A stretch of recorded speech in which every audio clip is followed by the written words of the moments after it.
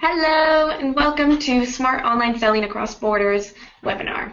My name is Alex Wyatt and I am the head of business development here at simplyvat.com. Today I have the pleasure in hosting the webinar and I'm joined by Chad Rubin from Skubana, Richard Gilbert from Payoneer, and Claire Taylor from Simply VAT.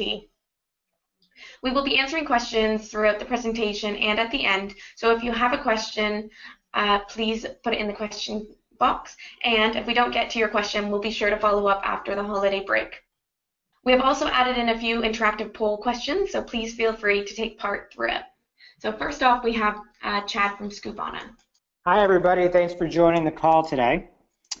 Taking time out of your day to come join us, uh, an hour out of your day to come join us and, and sharing our knowledge of how we've scaled or how I've scaled internationally. Uh, so right now, based on what I'm seeing, it looks like 71% of the people on this today are in the United States, which is great because I'm actually in the United States as well. Uh, I would love for my presentation to be as interactive as possible. So if you have questions, if you have comments, if you want to just shout out, let me know where you're where you're dialing in from. That would be great. Uh, so let's get started. So a little bit about myself.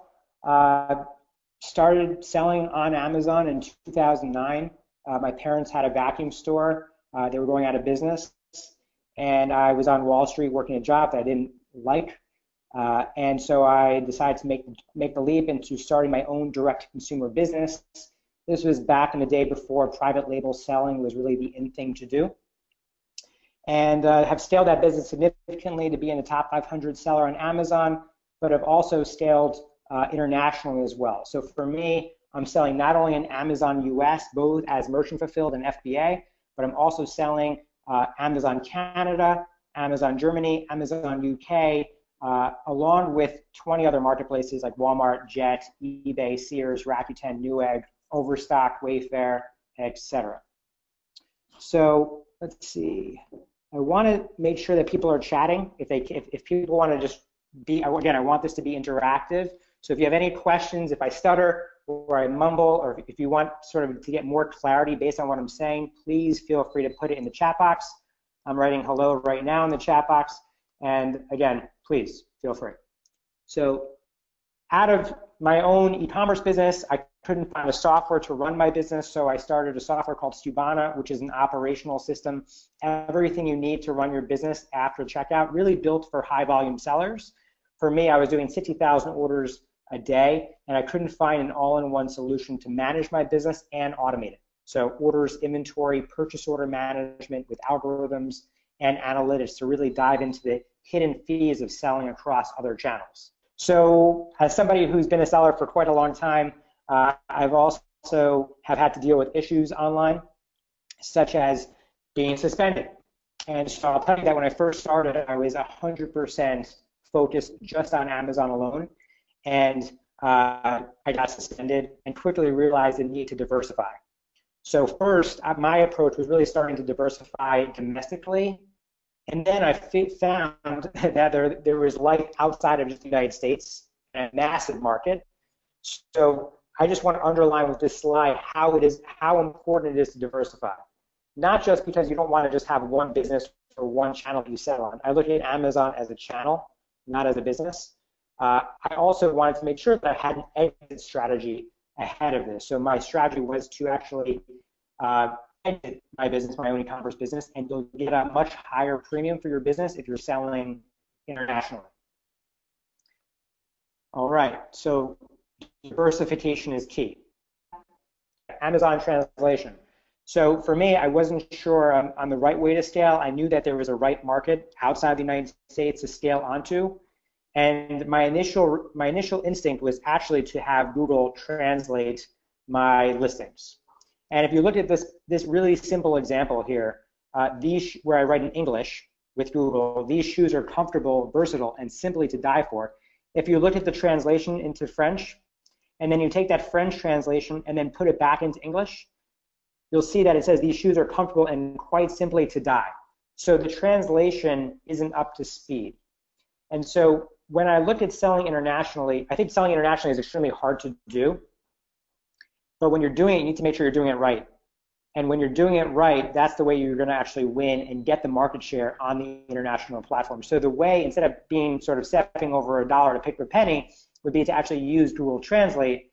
But the next best approach is to find somebody that's a professional that can actually translate your listings for you and make it best practice.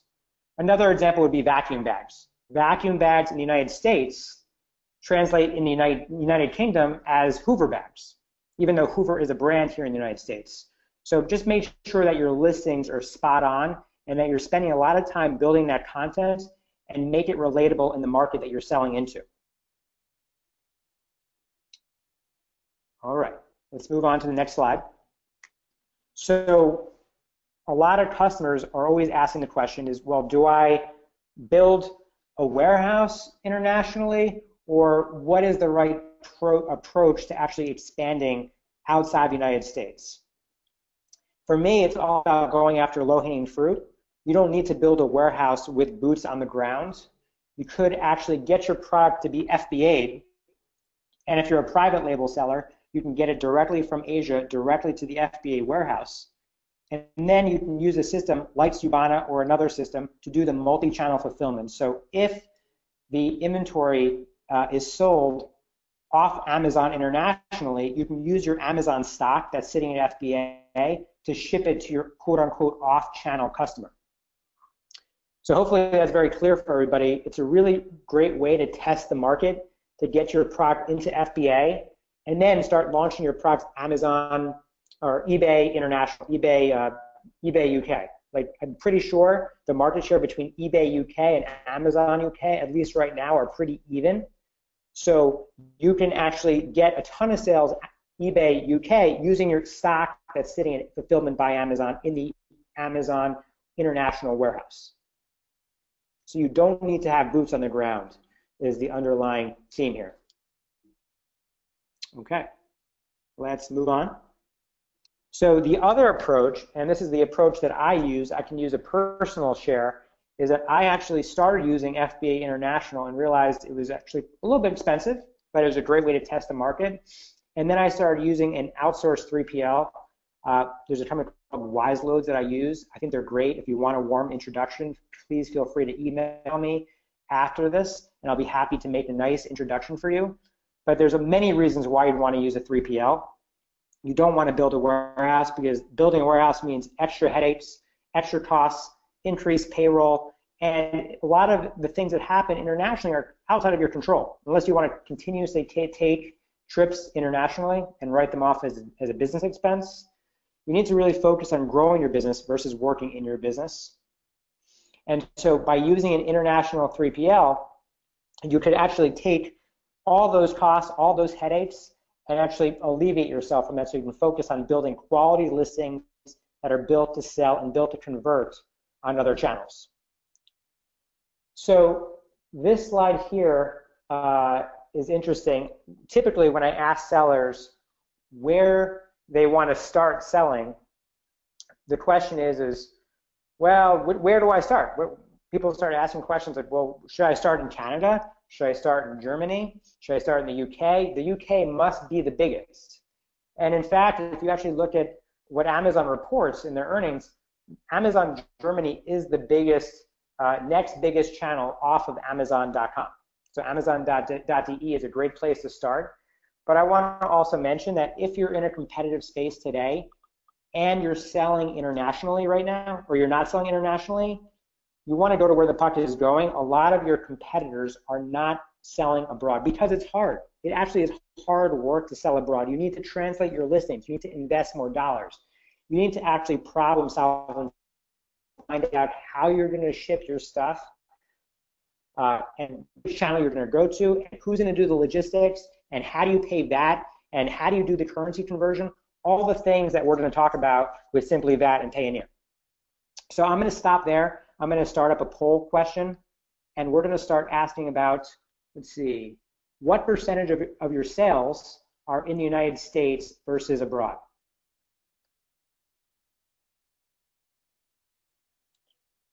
So feel free to answer, guys. 80%, look at this, 80% I'm seeing right now, mostly United States. 87%. Looks like we're, we, we're holding steady at 88, 87. Votes are continuously coming in. The way to win right now is to do what your competitors are not doing. So if you, if most of the people on this call right now are mostly United States, I guarantee you that we're going to see a mirror reflection of these same results if we ask your competitors the same thing. So I think a takeaway from this, guys, is you need to start thinking about how else can I diversify my revenue, diversify my channels, diversify what I'm selling, and right now we're in, a, in an environment where it's first come, first serve. So I look at internationally as being extremely important to winning because there is life outside the United States, but I'm also looking at other marketplaces. For example, Walmart. So Walmart's marketplace is 1% of the seller size of Amazon's. It's ripe for the taking. So if you're not even on Walmart, you should start thinking about these other channels. You need to diversify. Diversification is key. So we landed about 86% of the people on this call are mostly, most of their revenue is in the United States. I'm going to close out the poll. Profitability. So when you log into Seller Central, whether it's in the United States or whether it's abroad, Amazon only cares about what you make. Your settlement reports, uh, what they show you is all top line oriented. But if you want to win, again, my, my, my slides are all about what am I doing to make sure that I'm winning, not only selling internationally or domestically, but internationally. So one of the things that I spend a lot of time looking at is profitability. Seller Central won't report you these things. There's a lot of fees that happen on Amazon that no one's paying attention to. So your pick fee that's on FBA, your pack fees, your storage fees, your long-term fees, your removal fees, your return commissions, all these things are adding up and taking away from what you keep, not what you make, what you keep. These are things that Amazon doesn't really want. Amazon wants people to compete for that buy box. So for me as a seller, I want to know what I'm keeping at the end of the day. So these are things that you need to think about and you need to find a software. If we scroll to the next slide, you need to find a tech stack and a software that not only supports Amazon domestic, but supports you for future growth. Not just a one-trick pony that just supports one channel. You want to find a software that supports every single channel you sell on. So this is actually some live data from my backend where I'm looking at and I want to see what my profit is per SKU across every single channel.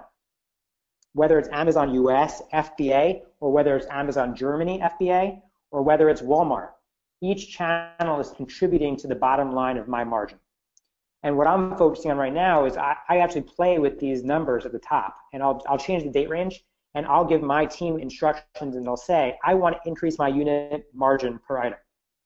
If it's on FBA, let's just say it was 25 cents. I want to 3x that. Your mission for this next month is to increase my margin three times. And that obviously inevitably has an impact on my net profit.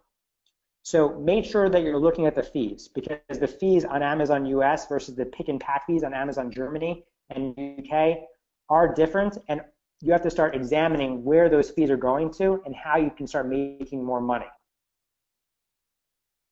If you guys are interested, uh, there is I could have a consulting session, it's a power offer where I'll select 10 people from this to actually join me for a free consulting session for 15 minutes.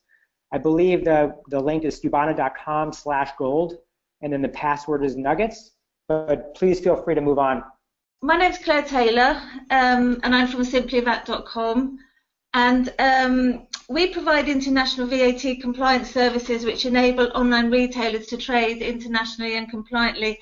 And I'm going to um, spend um, 15 minutes really talking you through the main rules and regulations that are going to affect you as the online sellers coming into Europe. So um, going to set the scene. It's actually um, 20 years since the first recorded online transaction, only 20 years, which apparently was a Sting CD bought for $12 on something called Netmarket, which I don't think is still around. I haven't heard its name lately. Um, but since that time, online sales um, have just grown phenomenally 18 trillion pounds last year sold online globally. It, it's quite phenomenal. Europe itself is a really attractive market for online sellers to get into. Um, sales last year, online sales in Europe were um, 500 billion euros, and that's a 12% increase year on year, and it, it is increasing all the time. So that's 296 million shoppers spending on average 1,500 euros a year, which is roughly the same equivalent um, as dollars. UK, France, and Germany, as Chad was saying, really um, Germany um, and the UK are the most mature e-commerce markets. These three countries account for 60% of the online sales um, in the European market. So it really is a huge opportunity for you, the online retailer, to increase your profits by um, tapping into these markets. So there's obviously more to think about when you're selling abroad. There's obvious language um, differences, um, but also, as Chad was saying, about issues with translation. But there's also not the so obvious cultural nuances, such as differences in payment method preferences. For example, Germans like a bank transfer, whereas we in the UK, we much prefer PayPal, for example. So there's also the rules and regulations that um, surround um, selling online, international VAT rules and regulations. So we find people don't even know that they've got a VAT obligation, or indeed they don't actually want to know. But it's really important for you guys to know about these rules because this knowledge will breathe longevity into your business going forward. So usual response when we start talking about VAT is um, head down in the sand, and this can work for a while, but it's not a permanent solution. So what does the online retailer need to think about? What actually are the different rules and regulations? I'm going to set the scene, first of all, with um, start explaining to you what VAT is it's really important to put it in context so you understand why you have to pay it, but also more importantly, understand why the tax authorities will want to know if you're not paying it. So the clue's in the name. Um, VAT stands for value added tax, and VAT gets charged whenever value is added in the supply chain. For example, from the raw material supplier to the manufacturer, VAT is added on that transaction. Then from the manufacturer to the wholesaler, to the retailer, and then on to the final customer. In Europe, um, which is quite shocking to you guys in the States, um, VAT um, percentages range from 17 to 27% across the different countries in the EU. But both inside and outside the EU, it's a favourite for the tax authorities. And the reason for this is governments get revenue every step of the supply chain. So it's a really popular tax to implement. But it's not supposed to be a burden to businesses, as any VAT collected on sales is offset against VAT paid if, um, if you're VAT registered, of course.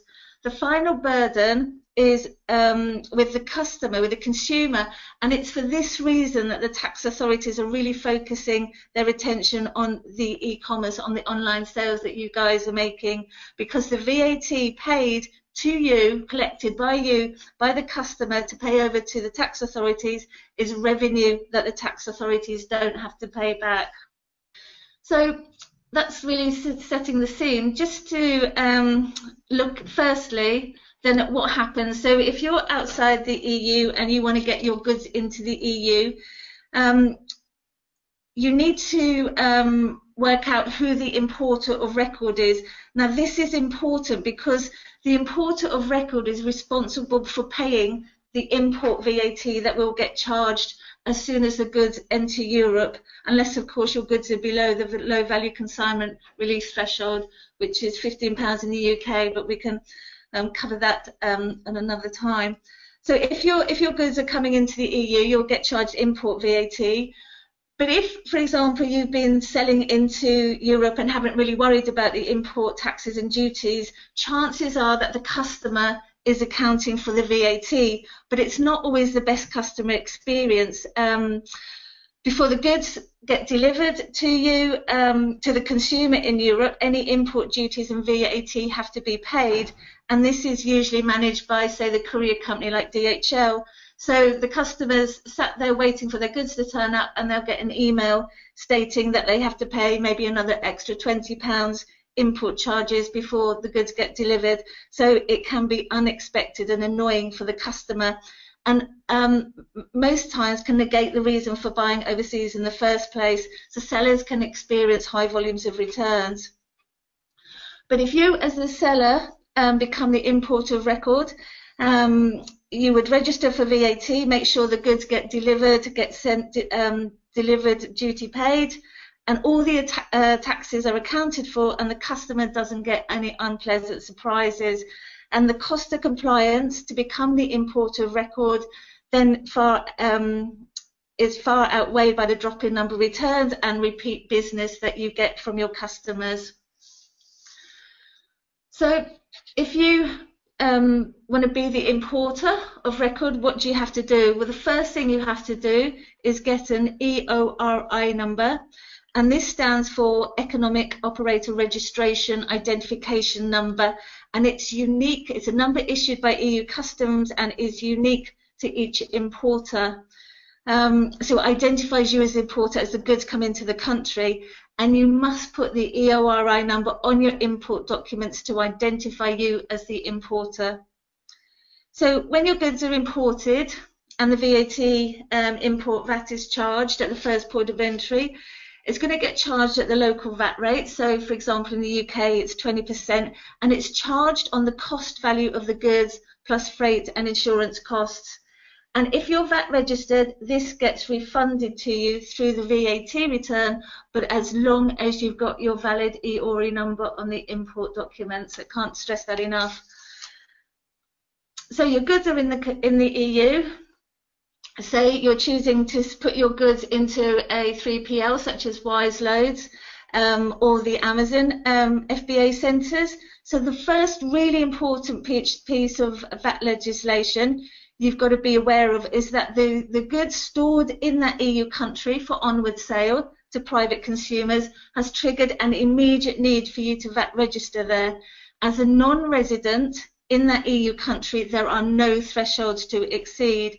So if you guys are using Amazon, um, the Amazon fulfillment services, which range from the European fulfillment network, where you would have your stock in one country, to maybe the new Pan-EU service, where your stock could be held in seven countries. Um, that's quite a hefty VAT compliance obligation you now have because your stock is there. So your goods are in the fulfillment centre and then any sales that are delivered from that stock comes under what's known as the distance selling rules. Now these rules apply to you even if you're not VAT registered um, you're not registered business, you might be in your bedroom thinking you're, you, you don't even class yourself as, as trading, for example. They also apply to you if you use the marketplaces such as Amazon and eBay. And you've got to be fully aware that the marketplaces do not um, take on the responsibility of paying the VAT on your behalf. Um, and also these rules only apply to your sales to EU customers they don't apply if you've got stock, say, in the UK and you're sending it out, for, um, delivering maybe um, to customers outside the EU, these rules don't apply to those sales. So what are these rules exactly? Well, they state that you charge or you account for the VAT locally in that EU country until you hit set thresholds in the other EU countries which the tax authorities have set. Now these thresholds 35,000 euros in most countries, which is approximately the same in dollars at the moment, except for Germany, Netherlands, and Luxembourg, where it's 100,000 um, euros, and again, roughly $105,000. Um, and then the UK, so you've got your stock in Amazon.de selling from Germany to UK customers, the UK um, tax authorities, we have a distance selling threshold of £70,000. Um, so you can access all the 28 EU countries from just, say, one EU location. You'd have a VAT registration, say, in the UK, in terms of, of VAT compliance. And this is what we usually recommend to sellers is the best way to start to test the EU markets without the heavy cost of compliance in terms of um, resources or cost. If you don't register, the tax authorities are going to issue penalties and interest payments for late or non-compliance. So really put it in perspective, if you're selling, especially if you're selling medium to high value goods, it's not going to take much to breach those thresholds in a lot of the EU countries. And just another um, point about um, selling in the VAT registering in the EU. Um, in some EU countries, um, and I'm thinking primarily, you know, the Amazon kind of hotspots like Italy, France, and now Poland, um, some EU countries require non-EU companies to have a fiscal representative in place. Now, a fiscal rep is somebody who's jointly liable for the VAT that you owe. And because of this exposure to risk, they often want a bank guarantee in place and the cost, the cost can be quite high. One way to um, avoid this is to set up a company in the EU. Say it's really easy in the UK. Um, you'd have different reporting requirements like annual accounts, for example, um, and you'd have to re, um, pay corporation tax in that country, but it can avoid the fiscal rep costs and it avoids their obligations. So it's something to think about. It's about doing the sums and see, see you know, see what fits your business model. So just in terms of the VAT compliance, I really want to put this, um, uh, push this issue to you guys just to understand that these days you can't go under the radar anymore of, of getting away with maybe not being VAT compliant. Um, the tax authorities are really getting much more savvy about it all a, phenomenal amount of money is lost in the EU because of undeclared VAT from online sales. It was nearly £2 billion in 2011 and it hasn't got much better. And they reckon in the UK £10 billion is lost a year from non-compliant um, non-EU sellers. So the tax authorities are really honing in on this. They've got specialist units, they um, share data, they talk to each other, but more importantly, they go to the marketplaces and, and get information on who's selling what. Um, so just examples of this recently, I know um, those of our clients who are registered in, um, in France, or, or, actually some who aren't, but we've got some Amazon sellers um, on our books who um, are coming to us, and they've all of a sudden received an annual statement from Amazon who have been um, obliged to do this by the French tax authority to give the sellers ex, um, exposure on what they what their VAT exposure is in France. Um, so they're collecting data all the time, and they will start coming to you to get you to register if you if you need to.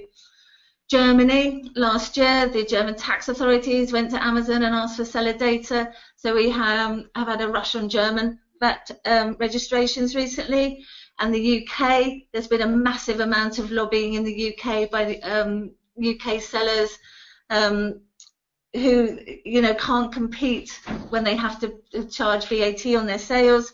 So the UK tax authority has issued new laws, um, and they'll make um, Amazon and fulfillment um, fulfillment houses responsible for understanding that the seller is compliant and especially Amazon, if they don't get the right VAT number from the seller, they can shut your store down within 30 days. So um, really to summarize, um, we would say do your homework when you're thinking about trading internationally. You really need to understand that there's a cost um, to VAT compliance, whether it's like an internal cost of language capability or IT alignment with the various tax authorities, or obviously using companies such as ourselves um, to take on the compliance process for you. But you need to factor it in along with other staples in your cash flow these days, like your web hosting or your Amazon FBA fees or accountancy fees. Um, planning and preparation is a vital part of the journey, um, but many many businesses, as Chad was saying, you know, there's opportunity out there. Um, the European market is really receptive and ready ready to um, you know, kind of really exploit the opportunities for actually buying online for you guys to sell to them. So those who've already made the leap to international expansion find the cost of compliance is far outweighed by the increased sales and profit. So with the right information and right strategies, European Union VAT does not have to be a barrier to your international expansion plans at all. Um, and obviously we can help you um, We can provide international VAT registrations and returns in all the EU countries. And we've got relationships such as these guys today, partners that we work with, and we can help our clients um, with contacts in other areas of the e-commerce supply chain. But ultimately, we're absolutely here to help, and we really want to help you sleep at night. So stop that niggling in the back of your head that the VAT needs to be dealt with as soon as possible. So thank you.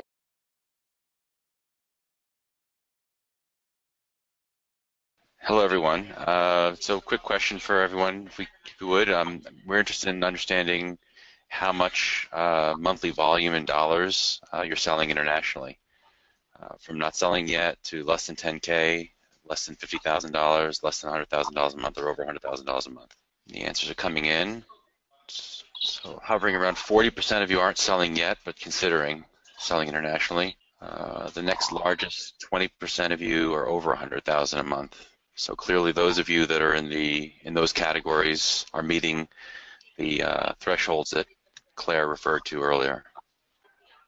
Okay, almost all the votes are in now. So yeah, about 39% not selling yet. Um, 16% of you said less than 10k per month. Another 16% 50k per month, and 9% less than 100,000, and 20% over 100k. Thank you. All right, so I'm Richard Gilbert, uh, and thank you again for joining um, our, our webinar today.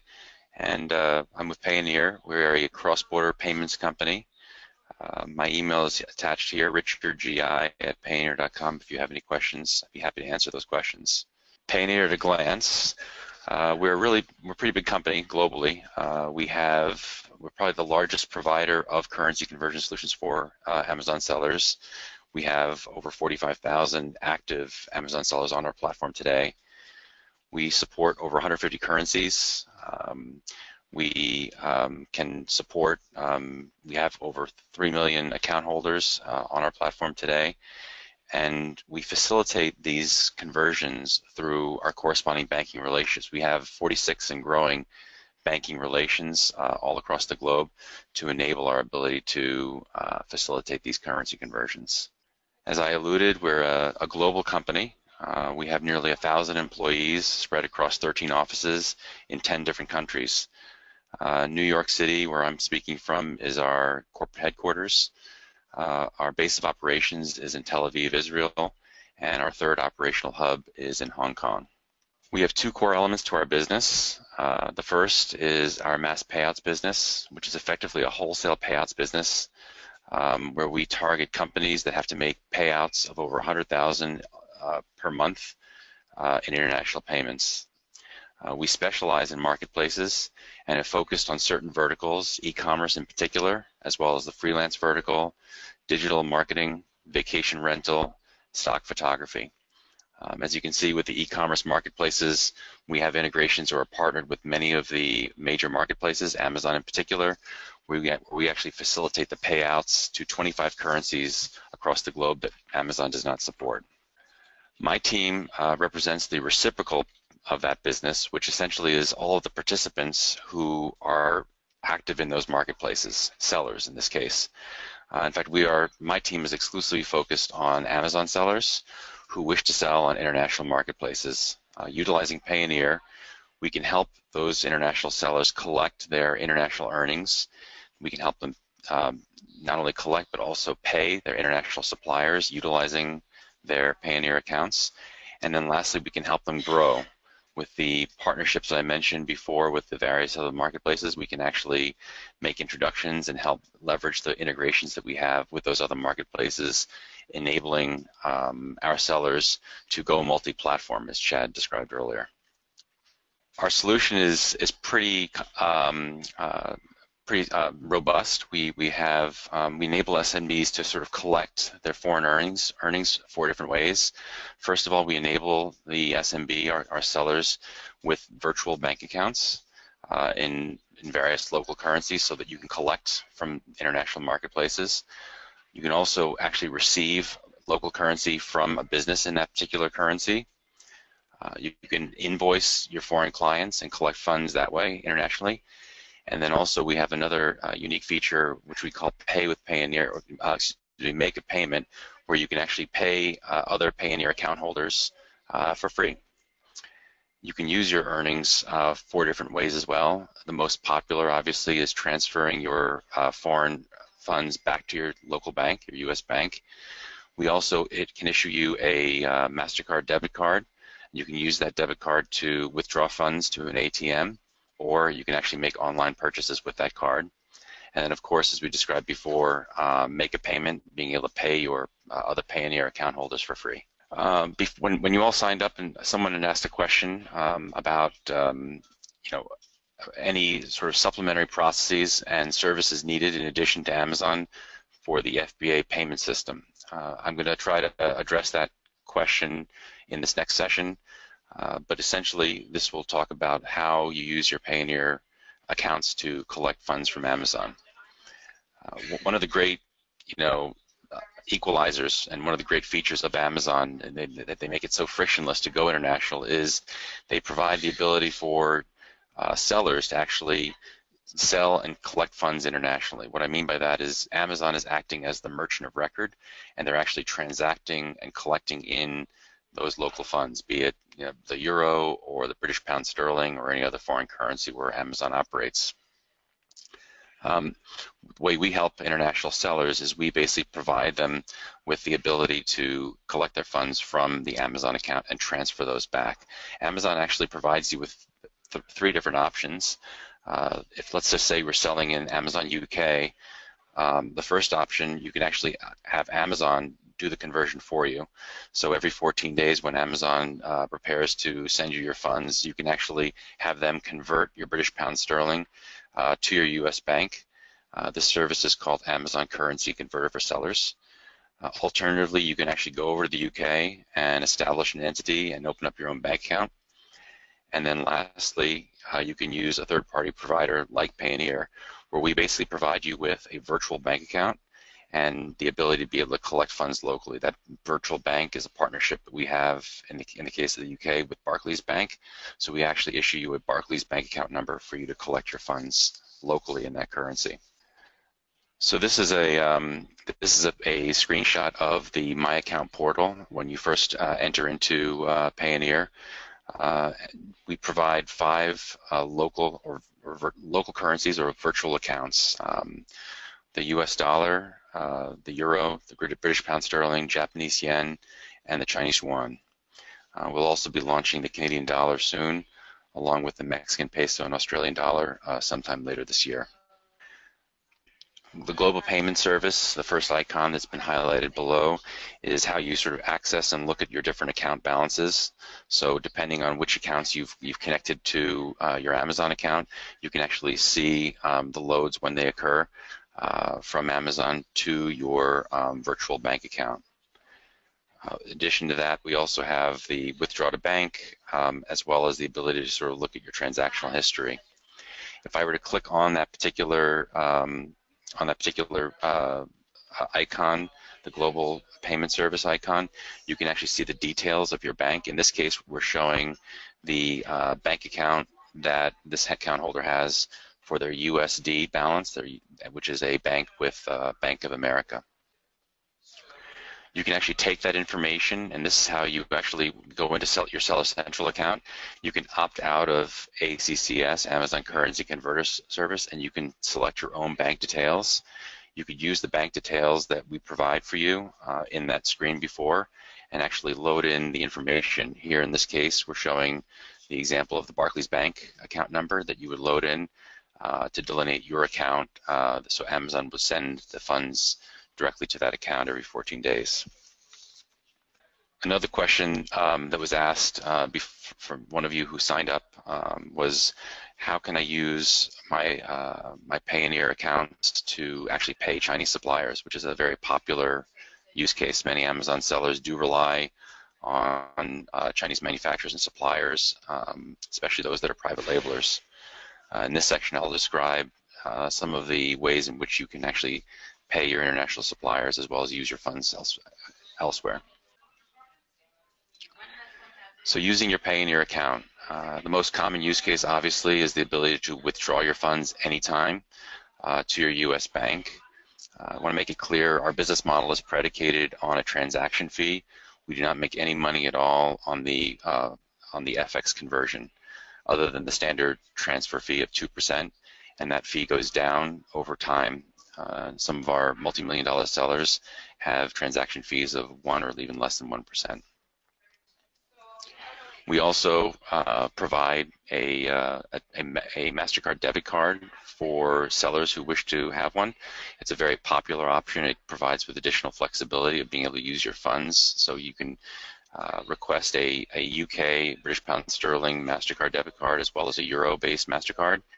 And you can uh, make payments utilizing that card, be it online payments or withdrawing the funds from, uh, from an ATM uh, in that market or paying your suppliers. The um, other feature that's been increasingly popular, I mentioned before, we have over 3 million account holders and growing, probably closer to 4 million at this point. Um, our strategy is to really grow our ecosystem and, our, and the network effect associated with using Payoneer. Uh, so the ability to be able to um, pay anyone who has a Payoneer account and avoid the transaction fee is a, a very popular feature. Uh, we have uh, thousands of Chinese suppliers on our platform, uh, as well as a, a, a large China team um, that is able to support and work with our U.S. sellers who wish to recruit or onboard Chinese suppliers in order to make a payment and utilize this feature. And the newest feature that we offer is Pay with Payoneer. Um, we're building out our partner ecosystem. We've just recently launched a partner directory where uh, our sellers can discover, engage, and even pay for partner services. Simply VAT and Skubana are both uh, in this uh, partner directory, along with another, a, growing list of other partners. Uh, what's great about this is that, um, again, you're able to engage uh, one of your partners, utilize your Payoneer balances, and make a payment uh, to, to that particular partner and fulfill that obligation. Uh, currently, we're not charging a transaction fee for this service. And lastly, I'm going to go through another uh, very important and new feature that we've just rolled out. Uh, it's the ability to be able to utilize your Payoneer balances to actually um, uh, pay and fulfill your, your VAT obligation. As I described earlier, you can actually engage through our partner uh, directory, uh, Simply VAT, um, and work with them directly and, and actually uh, commission them to help fulfill uh, your, your VAT filing uh, and the obligations therein. And then you can also pay Simply VAT for those services. Um, you can uh, you can also uh, engage Simply VAT to actually make the payment for you on your behalf, utilizing your um, your British pound sterling account balance, or uh, you can actually click onto this form. It's a secure form that we've recently uh, created where you can actually pay the HMRC directly um, through instruction from us. So just to sort of summarize, um, the old way in which you know uh, a customer of ours would have had to fulfill their VAT obligation to the HMRC, they would uh, have their British pound sterling account, uh, whatever funds they were collected from Amazon UK, they would transfer back to their US bank and then from there they would have to actually make a transfer or a, uh, a, a, wire or credit card purchase uh, to actually pay the HMRC their, their uh, VAT obligation. Today, with this new feature, you can actually uh, engage Payoneer to pay directly, uh, either your the HMRC um, or we've just recently launched um, the ability to be able to pay the German tax authority as well.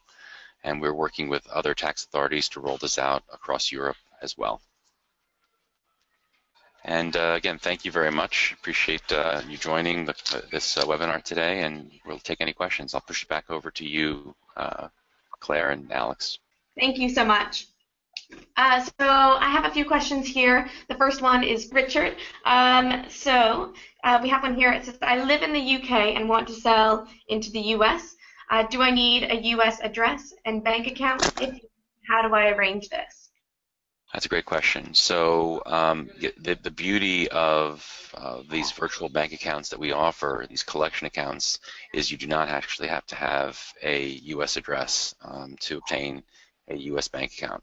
So if you're living in the UK, you can sign up with Payoneer, um, as a as a UK business or UK resident, and we will issue um, a Bank of America US bank account that you can use to collect funds uh, locally in, in the US. Same with the euro, uh, same with uh, the Japanese yen, same with Chinese yuan. Thank you. Um, and Claire, I have a question for you. Um, so how does Brexit affect importing goods into the UK? Um, is another EU country better? Um, if, if and when Brexit happens, it means the UK is no longer going to have access to the European single market. But um, there is talk that the UK will keep the VAT system. It will just be too expensive to change it. But also, the tax authority does really well out of the revenue. Um, so therefore, importing into the UK, we think nothing will really change. Um, it just might take um, slightly longer while um, the tax authority um, upgrades its systems to cope, um, maybe to cope with the, the sheer volume. Where it will impact more a, a non-EU seller, because at the moment many sellers use the UK as a stepping stone into the EU.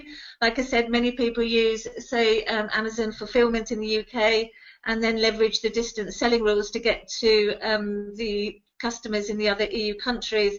But after Brexit, this access will stop, um, will probably stop. I have to say that nobody knows the um, deal, the trade deals that are going to go on the table at this point. But if we do lose access to the single market, sellers are going to have to get into the EU via, um, for example, a country like Germany. Um, so you'll probably still want to access the UK market and then access the EU through another EU country um, like Germany to get to your other EU customers. So it's probably going to be increased cost of compliance, I would say. Perfect, thank you. Hey, Alex, this is Chad. I know I missed your, your last question. Do you mind repeating it? Yeah, absolutely.